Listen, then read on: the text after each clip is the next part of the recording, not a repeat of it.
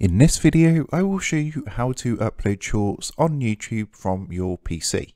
So this does work if you're using a Windows PC or a Mac. The process is exactly the same, so make sure to stick around and watch this video step by step to learn exactly what you need to do. So if you don't know, YouTube Shorts is basically YouTube's answer to things like TikTok and Snapchat Spotlight, and it's its main competitor. In order to upload a YouTube Short, the process is very simple, and it's actually very similar to uploading a standard video on YouTube. There are, however, a couple of things that you need to change, and what you need to change first is the display format. So what you want to do is make sure it's in like a vertical resolution, so you want to make sure it looks like it's on a phone screen. In order to do this, what you're going to do is go into your video editing software, and what you want to do is when you're actually exporting your video, you want to change the resolution. So if you come across to export video, you'll generally going to get a window that's going to look similar to this. And under the resolution box, you want to actually change this to 1080 by 1920. You can see this says vertical resolution, so you just want to go ahead and make sure that's selected so that when it exports, it does export it into a vertical format, which looks more designed for a mobile device.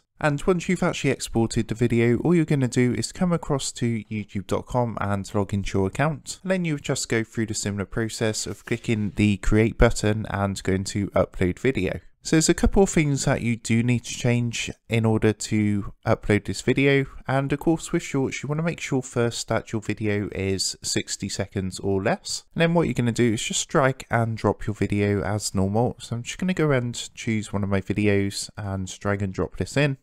And the next step is that you'll need to put a hashtag and shorts and this can be actually in the title or it can be in the description. So you just want to put this hashtag shorts and you can put this before the title or after the title or in the video description. So as long as you've got that done and your video is less than 60 seconds and of course you've got it in the correct resolution, what will happen, this will be uploaded as a YouTube short. So you don't need to worry too much about keywords or SEO for these kind of videos because this is not really something that people are going to search up on YouTube. This is of course just something that people are going to scroll through a bit similar to TikTok if you've ever used that platform. But of course this is a great way to build your channel and obviously direct your audience to your main YouTube channel. So that's how you go ahead and upload a YouTube short on your PC. As I say, it does not matter if you use a Windows PC or a Mac as the process is exactly the same. So if you did find this video helpful today, then be sure to drop a like and subscribe to the channel for more awesome tutorials. And if you are looking for more tips, tricks and tutorials for YouTube, then make sure you click the on-screen prompt. That's going to take you across to a current playlist of my current tutorials, tips and tricks for YouTube. So I just want to take a minute thank you for watching and with that being said, I will see you in the next one.